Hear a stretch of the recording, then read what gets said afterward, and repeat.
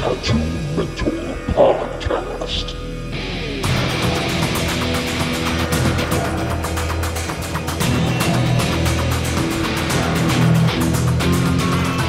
Hey, everybody, and welcome to the Tattoo Mentor Podcast from the Blanket Fort at Tattoos by Keith in beautiful Oceanside, New York. The Tattoo Mentor Podcast is about tattooing, pop culture, comedy, interviews with creative people, my personal thoughts and rants. If that's what you came to hear, you're in the right place. Enjoy the show.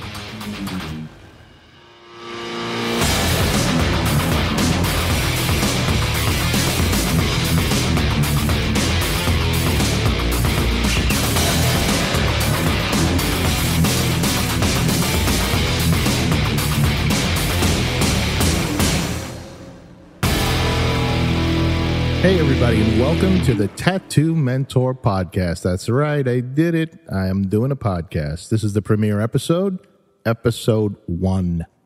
That's how that goes. The premiere episode is usually episode one. My first interview is with Tattoo Willie, uh, and it's a cool thing because when I was trying to decide who to do my first interview with, it was a rough decision. I had a bunch of people on a list, and uh, Willie contacted me and what was cool about that is Willie actually did my first tattoo when I was 15. I know I was underage. Let's not uh, let's not go there, okay? Um, basically, I wandered into the place he was working, Tattoo Lou's. I was with a cute girl I was going to school with. I had my fake ID and uh, had seventy dollars burning a hole in my pocket. And I looked up on the wall and I was like, "Damn, I need a Tasmanian devil." Right in the middle of my bicep, and that's totally going to help me get uh, get in good with this girl. I was going to say something nasty, but you know what I mean. So I sat down, and he slapped a acetate stencil on me with some graphite powder, and went to town. Did a great job. Still looks great. Thirty years later, uh, as great as a Tasmanian devil in the middle of my arm could look, I hear all the laughing. You know what? Fuck you guys. I don't care. I was 15. I think I got a dry hump out of it. Let's just call it quits on that, okay? I want your emails. Send them to tattoo mentor podcast at gmail.com. Please send them to tattoo mentor podcast at gmail.com. Radio voice for you guys. We're also launching a website, tattoomentor.com. That'll be going up soon. It'll have all the logs from the different episodes. It'll have uh, links to the guests' uh, websites, pretty much all the information from the show, and any uh, collateral uh, information or videos that uh, you might find interesting related to the show. And yeah, so that's how we do that.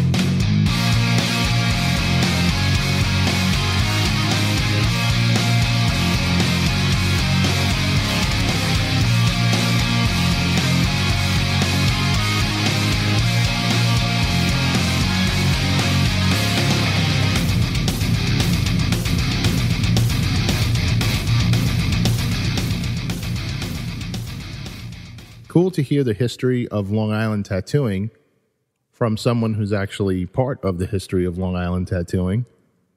Uh, and it's a shame how many uh, kids, not even kids, uh, people in the business on Long Island who have no idea the history and who came before them. And uh, it's kind of a cool way to hear about it. Uh, he tells some great stories, stories about Philadelphia Eddie and Tattoo Lou And I don't want to give it away, no spoilers, but definitely stay tuned for that.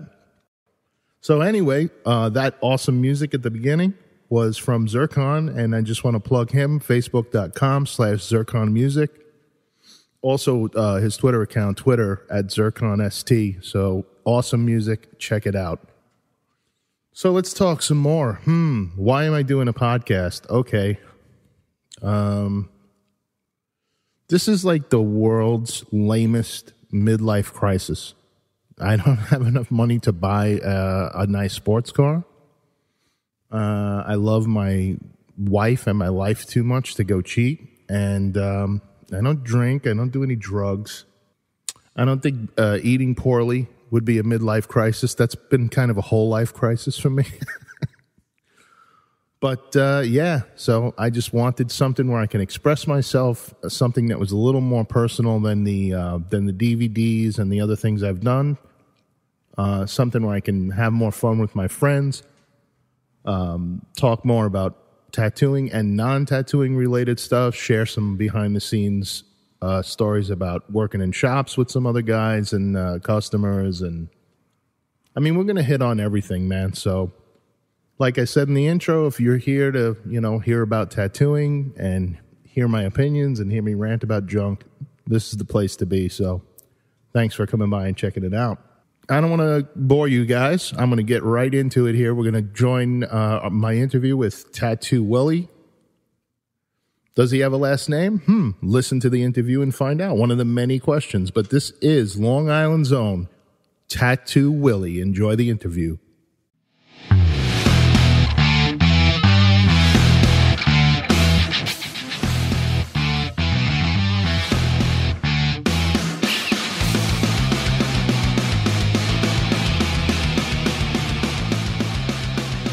So what's up, man? How you been? I haven't seen you since um, the first Long Island convention. What have you been up to? Not really taking it easy. I'm retired. No, not really. You know, I'm actually uh, tattooing right now. How often do you tattoo now? Well, right now I got a uh, individual that I'm doing. I'm sleeving his whole arm, and I started it uh, like last year. He's a up and coming MMA fighter. So, Can you say who the guy is? Uh, yeah, his name is uh, Anthony Giacchina. Uh, he's actually going to fight. Uh, he just fit. Uh, he just fought some kind of tournament, won first prize. Uh, I'm going to see him in Deer Park next month. And it's actually a kickboxing MMA fight. Oh wow, cool. Are you are you into that stuff normally, or did you get into it vicariously from tattooing the guy? Or Uh, Well, I, I've been into martial arts since I was in the military. I learned uh, Shorin-ryu in Okinawa way back. oh, so you you knew martial arts or no know. martial arts? Right. Uh, I I never did MMA, you know, mixed martial arts. But it's never too late. I'm too old. I, I'm lucky I can sit down and get up. no, I, I'm pretty good shape. I think I'm in pretty good shape but, uh, for an old guy, but I'm all right. So, so I, I've always known you, you know, since since I was a teenager. Uh, always just Willie, Tattoo Willie. Right. Uh, what is Tattoo Willie's last name? I don't even know. Is that something you tell people? No. Oh, okay. So No. it's uh, that's cool. I'm Yeah. down with that. Yeah. All right. So um, When, uh, when I got into tattooing, my real name is William, and I guess my family and friends call me Bill, Billy.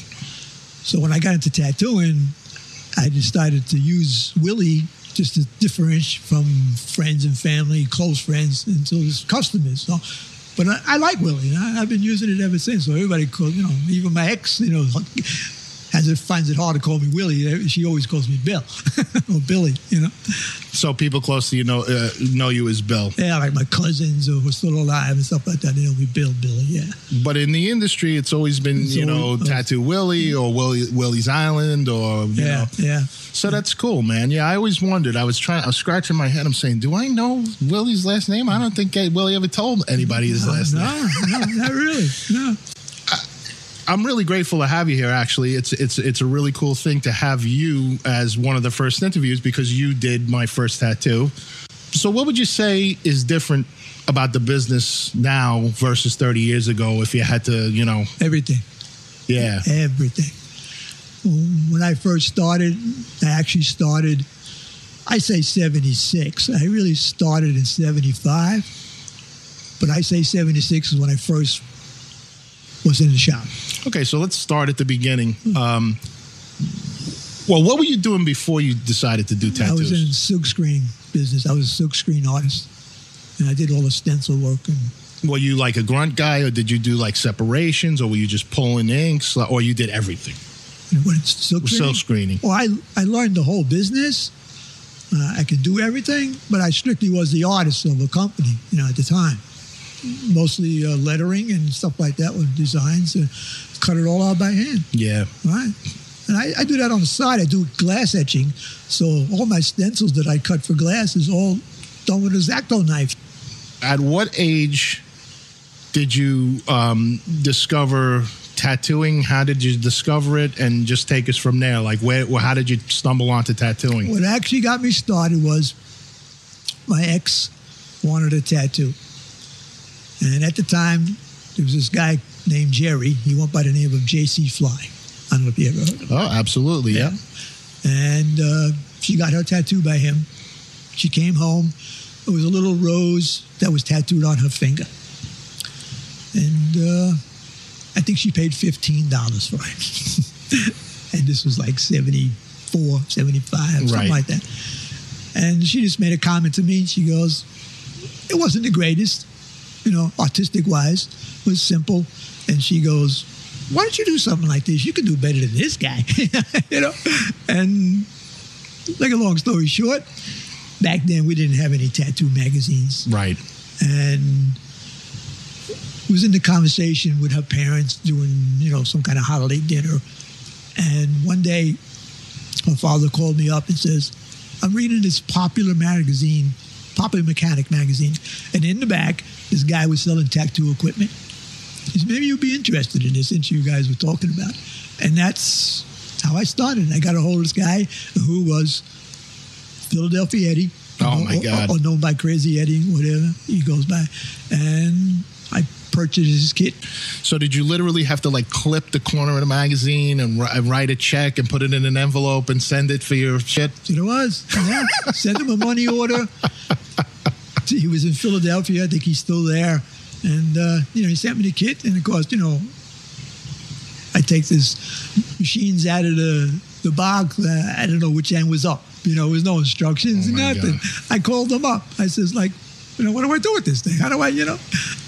And being the old timer that he was, he says, well, if you want to, you got to come here. And well, where's here? You know, in Philadelphia and Chinatown. I remember Well, wait, wait, back up a second. So he, he you call the guy cold, and Right. you now you're actually he invites you to go there, Right. and all you did was write him a check for some tattoo shit out of Popular Mechanics. Right, right. I guess he didn't think I'd be coming. I don't know. I, I went there, you know. Yeah. And now, now just to just to frame it out, because I'm trying to imagine this scene in my head. How old are you at this point, and how old is Eddie at this point ah. when you're there? Ah. I'm not too sure how old Eddie was back then. I know he's, uh, I would think, middle 70s now, I would think.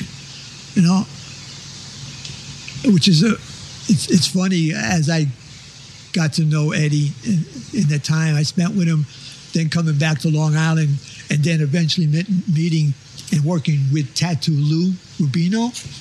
Come to find out, they worked together in Rockaway and in and in the in the city, you know. And I didn't at the time. I didn't know that. You know, Lou Senior, obviously. Lou Sin, yes. Right.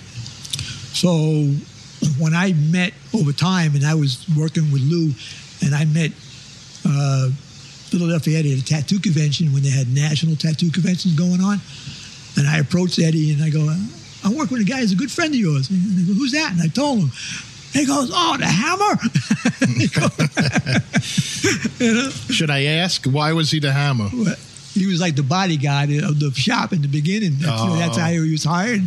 Then he started tattooing with Eddie, but that's he was like the bouncer. Oh, my God. Lou was the bouncer, from what I understood, and uh, it was yeah, it was weird. What was the shop like? Was it just him and another guy or two, or was it packed with people? Actually, it was uh, wasn't as crowded. I don't remember being crowded at all, or I remember being kind of dark.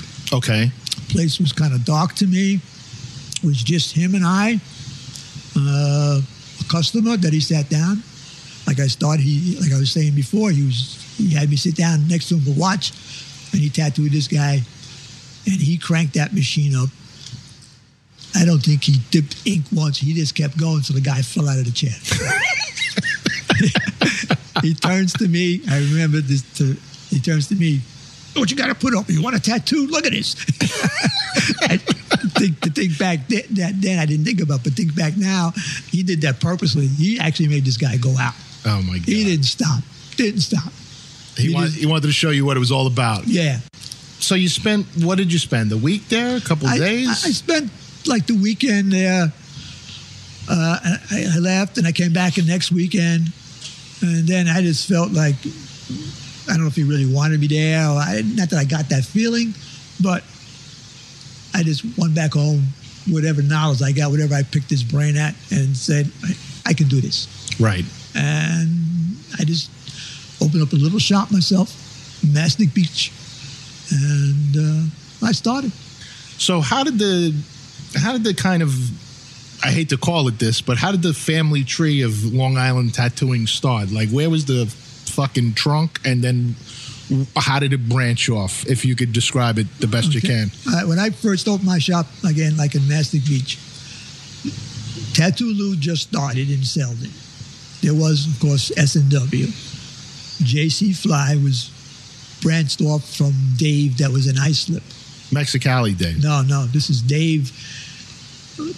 Dave's shop uh, was taken over by Wayne Oh, okay. Body creation. Body Creations. Before Wayne was this guy Dave. Him I've never heard of. Where did he come from? Do you know? I have no idea. I didn't really. I didn't He was know. there when you got into it. Right. He was there. I think it was Main Street, you know, next to a little cab place. The shop was small. And that's where Fly came from, was Dave and Fly. That I re- I heard through, you know, through conversation talking to Jerry. But Jerry was, you know, on Montauk Highway in, in Bellport, or I think it was part of Patchogue, or I don't know what it was. Pretty sure it might have been Bellport. And then again, there was Lou, Fly, Dave. Uh, there was guys in Ronkonkoma. And I'm trying to think who else there might have been around. There was only six shops, all of Suffolk County. Right. That was it. And then I closed my shop in Mastic Beach and went with Lou. You know? And uh, that that was, I'm, I'm thinking 70, 78, maybe. I got with Lou.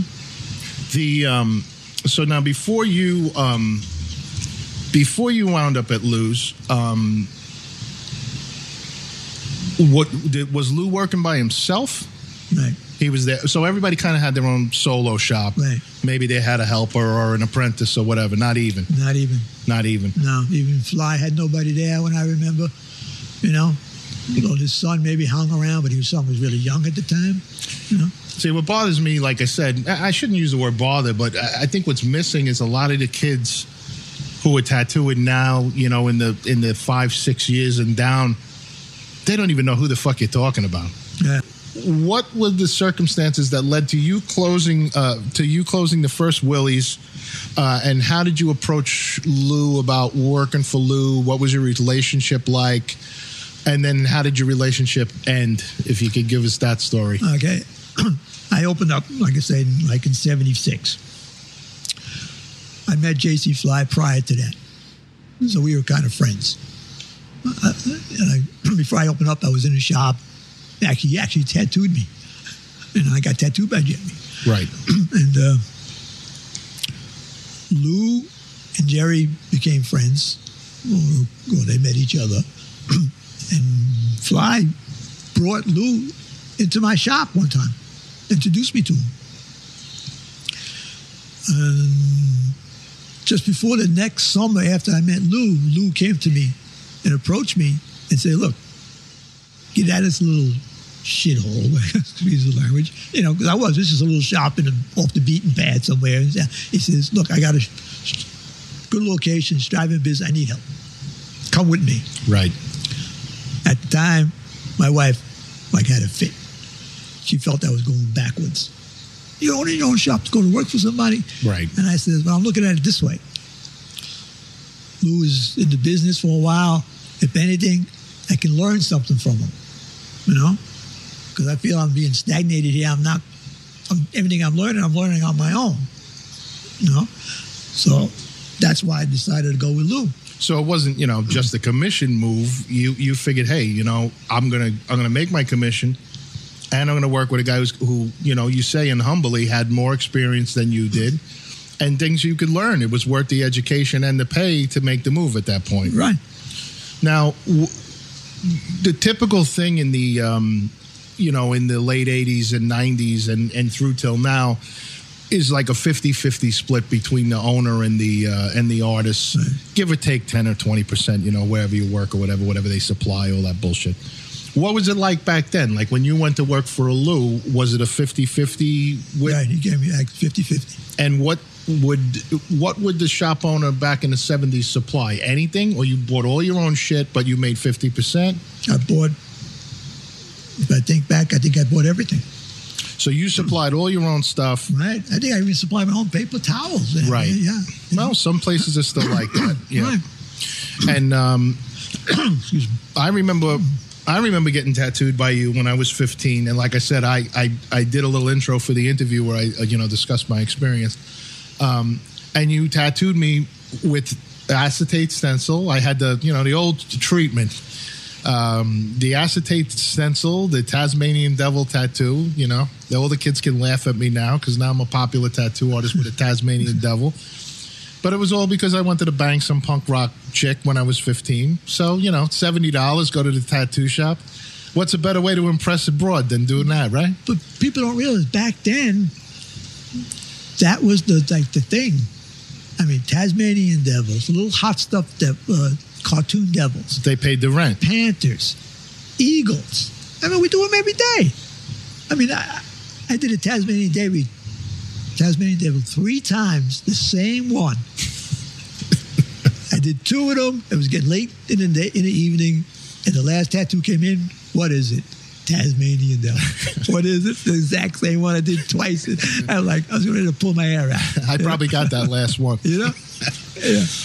So what? Um, so when you showed up, because I, you know, again, I get curious about equipment and stuff. So the acetate stencils, you know, there are tattoo artists who listen to this and non-tattoo artists who listen to this. At what point? So, at what point did the acetate stencil process kind of fade out and the um, thermograph machine come in? When I started, we had the acetate stencil. We used to put like a graphite powder in it. Right. and then and we will put a light coating of Vaseline or bacitracin, whatever we were using, and the powder would stick to the to the arm by way of the the, the Vaseline. Right. Tattooing back then like that was a a nightmare because as soon as you touch it, It's gone. it's gone. you know, so you had to be able to, to know how to work around without smearing that thing off. I mean, thank God I had to, uh, at least a, a, an art background where I can freehand whatever I lost. You know, Right, So because with the silk got by. screening and the graphic designing, Right. and so you were an artist before you tattooed. Right. Now, th- here's that leads me to a question I didn't plan on asking, but it's an interesting question. I think, if I do say so myself, the um, the the percentage of guys tattooing who are actually artists and guys tattooing who are just tattooing. Like now, a lot of kids. I mean, we live in a world now where kids come out of art school and decide I'm going to be a tattoo artist. Right. It wasn't like that back then because even when I got in, which was the early '90s, way after you, a lot of the tattoo artists I would w- w- was competing with were like ex auto mechanics, guys who didn't want to stock shelves at Pathmark. Uh, what was it like for you? Were there a lot of artists involved in tattooing? No, not that I seen. All the all the people that I was associ- uh, accustomed to seeing and being with, uh, their level of autistic wasn't there. You know, I feel not that I'm blowing myself up. That Right. my my artistic talent was maybe a little notch above most of them at the time. I mean, JC Fly was pretty. I, look- I looked at JC's Fly work, and at the time I said, "Oh, "This guy's pretty decent," you know. And, uh, this is my competition. Wow! But it only made me do better, Right. you know. So, but with the rest of the other guys, uh, they didn't really have it, and that goes back to the old school. The same thing. I mean, the, the flash that were on the wall with Tattoo Lou's. Well, I used to look at it and cringe. I go, "Oh my god!" So every tattoo I did that was off the wall, I had to change as I did it. Did you? Right. I try to uh, uh, artistic more. They had like a traditional panther. The tattoo on the wall looked like Rudolph. it had like a red round nose. Like I, I looked at it, I go, oh my god, you know. So every winter that I was with Lou, I used to take all the stencils and redraw them. Now, if you redrew them, did you have to recut them? We, yeah, You had to recut the acetate. yeah. We had to use a little Dremel, a little Dremel tool. Well, I used to make my own little uh, piece of wood, and I got a good sized tack and ground it down to a point. I used to etch it, you know, scratch it instead of one that didn't lie, to scratch it in. Were you guys making your own needles? Oh yeah. Man, there was so much more craft involved. Everything we did ourselves. There was no supplies, Right. you know. I mean, Were you making inks? yes, we had strictly just powdered ink. Damn. We had to make it, turn it from a powder into a paste. How many days a week did you work, and how many of those days did you have to dedicate to just uh, prep, like supplies and and stencil etching, or did you just do that shit during downtime? Downtime, right? Downtime. Right. So how did that work out normally? Uh, Describe that, because that's an experience not, not a lot of new tattooers have had. well, I didn't work five days a week. I was off Sunday and Monday. Uh, I never worked a Sunday in my life tattooing. Right. That was a day to my family. And I was separated from my wives, and I had two boys. So those are my days with my sons. I'm a big Sunday guy too. Right, no yeah. Sundays. No Sunday. Then we took a Monday off. Saturday was our busy day, just like probably it is today. Yeah. And so it was from Tuesday to Saturday. Our hours were two o'clock to ten o'clock at night. You know, uh, we had National Supply. Would just sell you the powder and stuff. We sell you the powder, loose needles that came in packs of a thousand.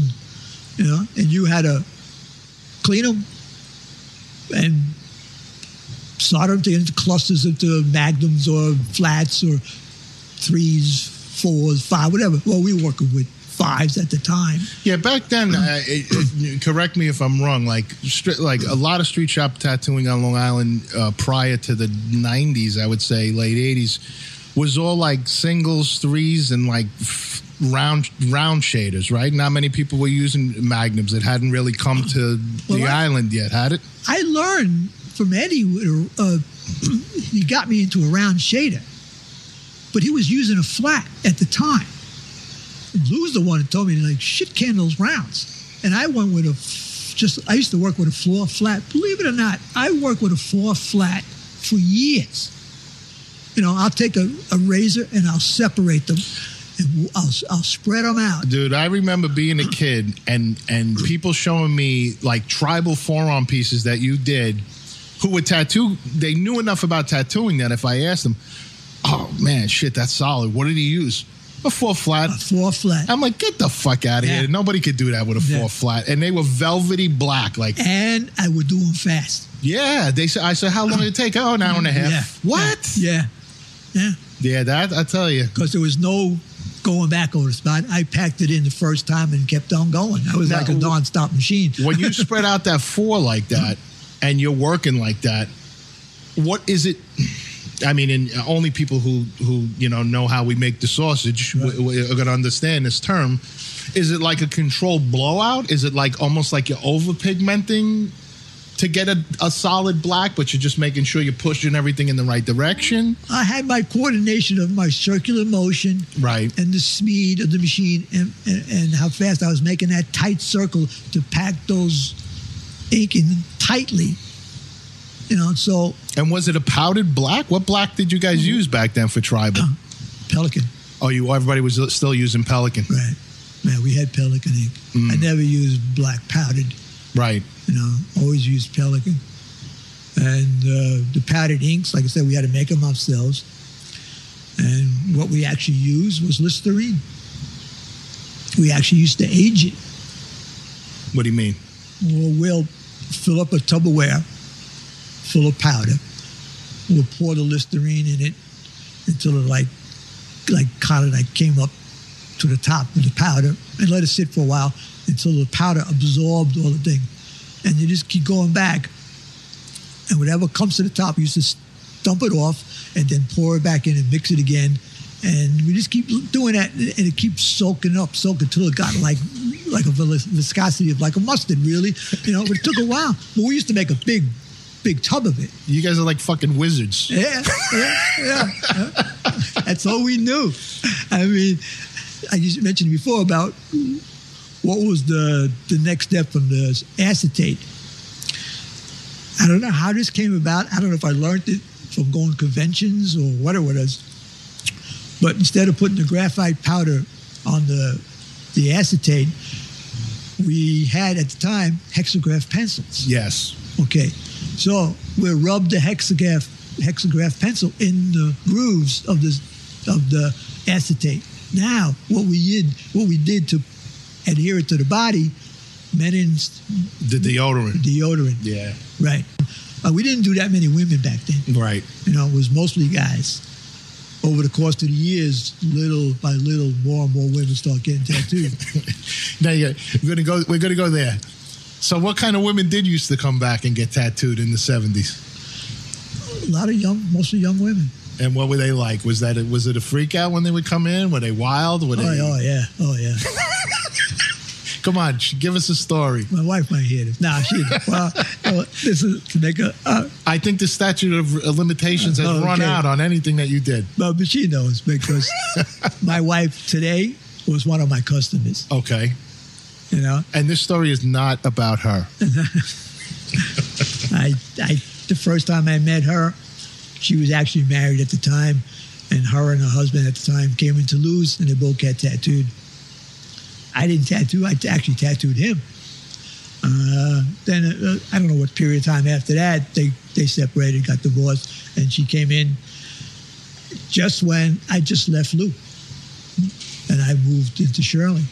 So she tracked me down, and I covered uh, her ex's husband name up on her for her, and that started, uh, you know, tattooing her for ever since. You know?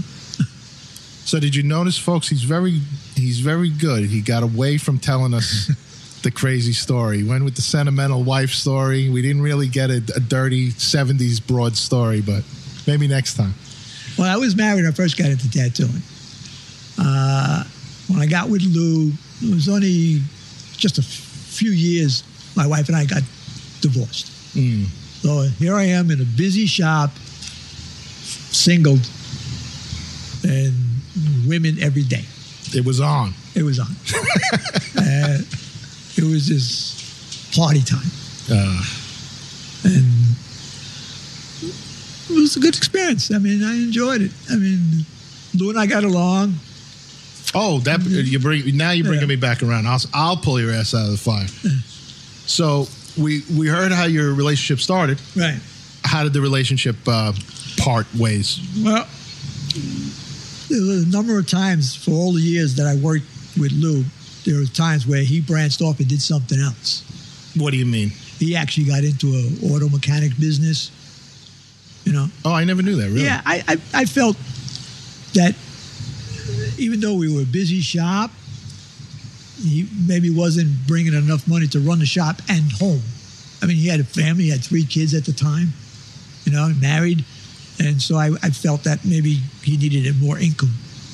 And so he did other things. Uh, besides that, he he got out of that business, then he got into like the oil business, delivery oil business, and he used to do that. You know? So when he wasn't in the shop and I was running the shop, most of the time I was by myself. Uh, I, I don't even remember maybe very few guys that worked with me. Yeah, I was going to ask you that too. Other than you and Lou, who else passed through the door there while it was you Well, guys? There was one guy we used to work on. His name was Pizzo. Can't remember his first name. You know, he was a, he came in. He worked with us. How long did he last? Not that long.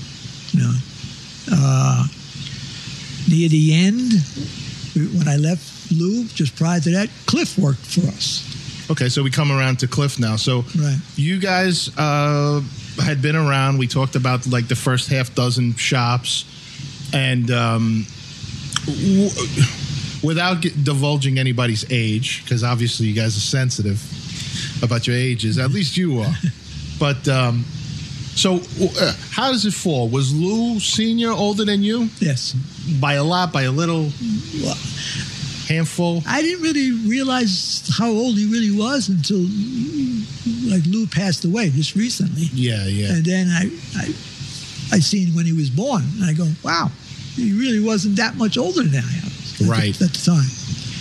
But I thought he was because, like when he used to talk about, tell about the stories about that tattooing in, in, Rockaway and stuff like that, and he was like 18 at the time or something like that. Uh, yeah, 17, I don't know. What, you know. So I thought he was because I, I put myself back then. I go, gee, I was younger then. Right. you know? so You know. the So I- point of reference made him seem he was a lot ol- older. A lot older. Yeah. Right. But he wasn't. And then where does where does Cliff fall? A handful of years younger than you guys? Oh More? yeah, Cliff is uh, much younger than us. And so did he come in cold to Lou's without any prior experience? No. Where did he come from? He actually worked for Pat. Nunziata? Right. Oh man. Yeah. But that's how we met. I don't remember. We met. You were working for Pat in Commack somewhere. I did. I worked with Angelo Grisafi Right. at uh, at one of Pat's places for, Right. for the blink of an eye. Yeah. I, I, I'm the type of guy. I used to like to go around every shop and I, introduce re- myself. I remember you coming in. Yeah, I went to a lot of shops. I mean, other than the all the newer guys maybe that don't know me, but I could basically go into any shop and be welcome. It used to be like that. I have no enemies that I know of, you know, in the tattoo world. That's who he was. And so, around what year does Cliff come in, and how does he get his job? And are you already on your way out, or was Yeah, there, or was there some about. cro- crossover there? Uh, he he came in, I would say, 88, 89 maybe, because I left Lou in 1990. And uh, so he came in just a couple of years before that. So you worked with him for a couple of years. Yeah. Now, during the time that it was you and Lou and Cliff, uh, how was it? Was everybody cool? Well, What- Lou wasn't tattooing at the time. He was just popping in and out. Yeah, Lou had another business going. And to get back to what made me leave, I, mean, I love Lou. Lou, you know, all the years, you know, rest in peace. You know, he, I got along with him. I liked him, but he was the old school, Yeah. and the way he did things wasn't the way I I wanted to do things. Right. You know, do anything, no matter what. Right. I mean, uh, Lou at the time was coming back into tattooing, Right. and just around that time, I lived in Shirley, so every night I go home, same same rule. There's one day I seen this store on William Floyd Parkway for rent, and I just went in there. And so I guess it was like just fate happening at the same time. Lou was planning on coming back. I seen the store on the location that I like, wow, this is, you know, this be some nice place, you know, good location for a tattoo shop, and this was available. I went in there and I could I could get it, so I had to make a decision: either let it go, you know, stay with Lou, or you know, go on my own, and which I wanted to do because I said I didn't I didn't want to have to work again, you know, with Lou coming back. Because I, I you know, you know, if a guy come in drunk, Lou expects you to do it, Right. you know, and I, I couldn't deal with that, you know, because a lot of guys who are drunk, I remember like, Lou, you do it. I don't want to do it, you know. I'll Yeah, it's do it. because it's hard to do a good piece. They're moving around. Right, they're right, belligerent. right. Yeah. So when I got on my own, I made my rules. I mean, this is, was it. I mean, I wasn't doing anybody that came in intoxicated. There's no way. You know, I had my thing. I mean, it, it was a joke between my good friend of mine who used to hang out with me a lot. He told me, I'm going to open a store next to you and take all the people you turn down. I go, good, because I don't want them. Right. you know? I hear you, man. I, I, I share that. I definitely share that feeling, and I think, um, yeah, man. I mean, that's it's so funny. I think a lot of people can relate to what you're saying. Like, it's funny how the the world works. Like, right when you're having certain thoughts, you're on your way home, you look over. There's this place never stood out to you before, and there it is. Yeah. And it's you know, the light bulbs go off. You know what I mean? Yeah, I seen it. I turned, made a U, come around, went in there. When I walked in the place again, I said, the, the, the real estate guy, I knew the guy. And uh, I said, is this for rent or for sale? Because he had like two signs on it, I think I remember. He goes, no, we'll rent it out. And I go, why? What do you want to do? I, go, I want to tell you. I said, No kidding. Yeah. He says, yeah. It'd be great for a good tattoo shop. Let me talk to the owner, buddy. You know, Right. I'll put a good word in for it. And yeah, he got back to me. He said, yeah, it's yours. You want it. So then I had to tell Lou. like, oh God, you know, hey Lou, uh, I'm leaving. I'll give you two weeks. Nah, you, you can leave now. and, and that and that is like that's the tattoo business, folks. Because I, I think anybody who does the right thing tells the boss, "I give you two weeks," and every boss says, "Here's a box. yeah, you can leave now. Please leave now. Yeah, I don't want to look at you for two weeks Yeah. knowing you're leaving. Well, you're gonna have two weeks of stealing my customers. So Yeah, two weeks of tucking phone numbers in your pocket. Yeah, yeah. Which, hey, I probably lost a lot of people, customers. But then again, the people, I mean, if they follow you, they'll find you.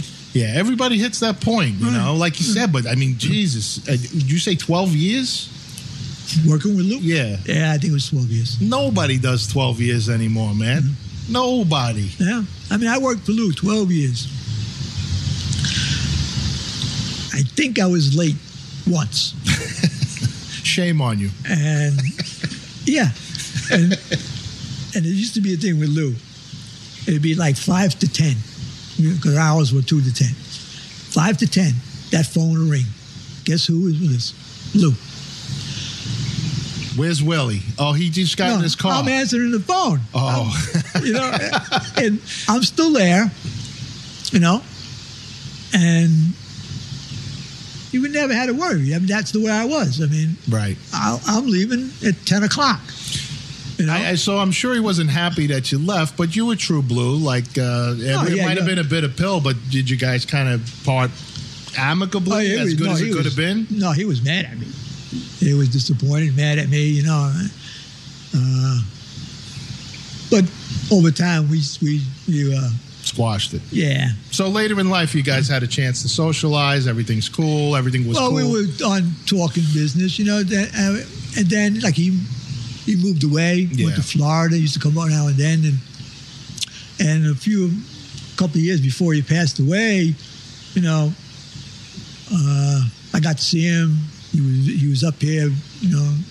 I met his new wife at the time, and and things were cool, you know. And then he got sick, and I met him at a at a uh, motorcycle run. Right. His son was throwing. I met him there, and uh, he was just uh, getting over treatments and stuff like that, and uh, it took a toll on him, you know. you know, say what you want about that, any of the original guys. I mean, when I grew up, it was it was all about Lou, Willie, and Cliff. Lou, Willie, and Cliff. Lou, Willie, and Cliff. That was tattooing in Suffolk County. Yeah. Well, for a guy, I'm 45. So when I was started getting interested in tattooing, I was about 14, 15 years old. I saw them on my dad. When we moved out here, my dad went to Lou's. Saw it, big bright yellow building on the side of the road. We went out to visit my uncle out there. Dad saw the shop, pulled over. I was with him. He went in. He got a he got a butterfly on his shoulder. He had two butterflies on his shoulder. He had old military tattoos on his arms. So I always loved tattoos, you know, because I admire my old man, you know. And uh, that just became a staple in my oh man, that place Lou's, Lou's, Lou's. You know, as soon as I got a dollar and I got a fake ID, I'm going to Lou's. And um, What year was that? that I did or my father? You. But then I'm going to give away my age. No, Oh, okay. I'm 45, so that was 30 years ago. 30 years ago. So you're talking, uh, do the math. I'm an artist. I'm not a mathematician. Yeah. well, I went into you with a SUNY, uh, a SUNY Farmingdale ID. We used to shave the edge, and pop out the other guy's picture, and slip our picture in. Yeah. And that's back when everybody would take anything. You know, if it, you didn't, people weren't so strict.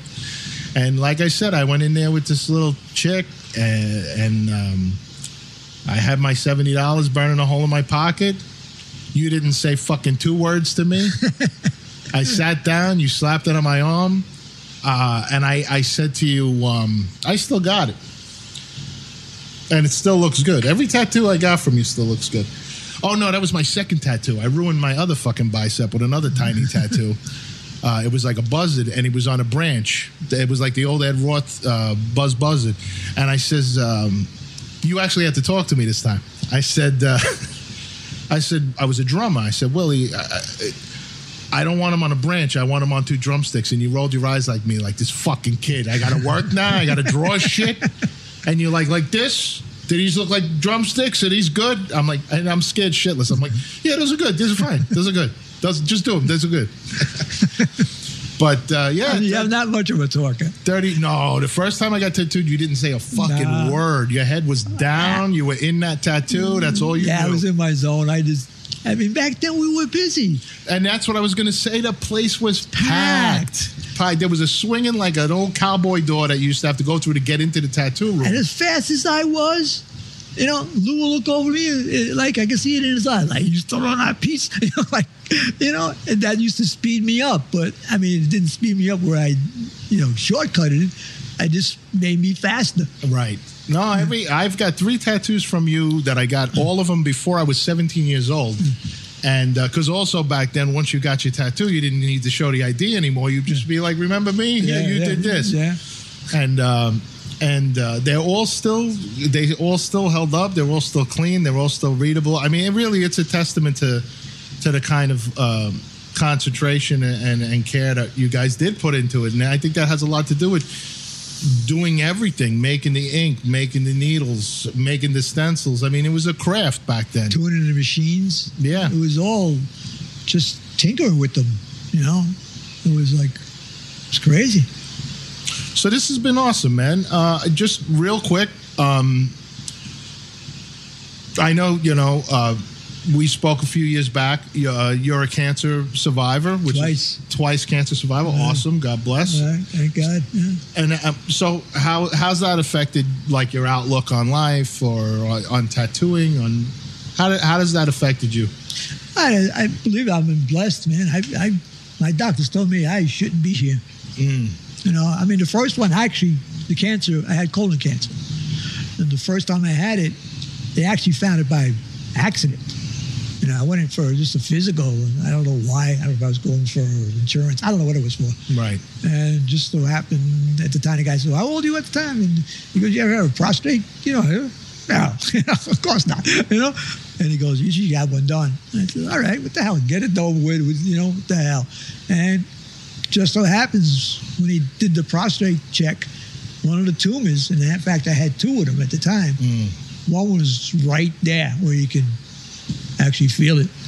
And he sent me to a gastroenterologist where I had a colonoscopy done. Right. And that's where they found that tumor and another one that was up further. Thank God I lasted like 12, 13 years and I got it again. Colon cancer again. And uh, I had to go through chemo again, no radiation this time.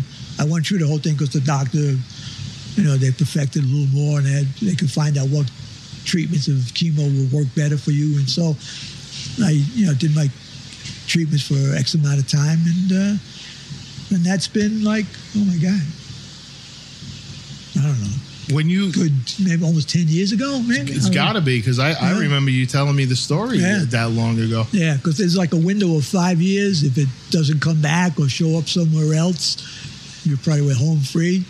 So I get checked every once a year, once every two years. Depends if you have polyps or not. That Right. Turn into cancer could, could turn into cancer. So if I don't have a polyp after two years, you might let me go a year, year and a half, uh, and then you know. So so so far, thank God, I've been clean. Awesome, man. Uh, great speaking to you. Excellent interview. And uh, Thanks for having me. oh man, no, it's, it's thanks for being here. It's a tremendous um, honor because, like I said, I mean, I was racking my brain over who to interview first, and and you know, there's a lot of um, guys I I'd, I want to get in this chair and will get in this chair. But it was funny that I got contacted. Your contact came through first, and I said, "This is." So I'm another guy who believes in kind of like fate type things. I was like, "What a better thing than to to have the guy who gave me my first tattoo as my first guest on this podcast." So uh, I really appreciate it, and uh, Yeah, I think Thank you. think it's awesome. Anything you want to plug? Where you're tattooing, or you're just kind of doing your own thing now? Yeah, I just do uh, strictly like my son, my wife's thinking about getting another one. Uh, uh, Facebook page, Twitter account, anything you I'm want to put out there? I'm on Facebook, but uh, I don't really get any new friends. I don't, you know, I don't talk to anybody. you know, So yeah, no one, no one, please, no one look into Willie at all in any no. way.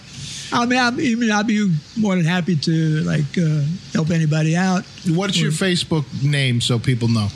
Uh, Do you know your Facebook account name? I think it's Willie Tapman. Willie Tapman. Uh, pretty sure. All right, cool. I'll, I will put it up on the uh, on the info for the interview. I'll look it up, make sure people have it if they want to write you about anything they've heard here. So you kind of alluded to this before, and we'll close on this. So about six, seven years ago, you came to my shop and you came in and said, "Keith, I'm retiring. Right. How's that going?" Great. I don't even know what day it is, what time it is. Don't care. Thanks a lot, man. I really Ah, appreciate thank it. you. Thanks for coming by. yeah, well, you're welcome. Awesome. Cool.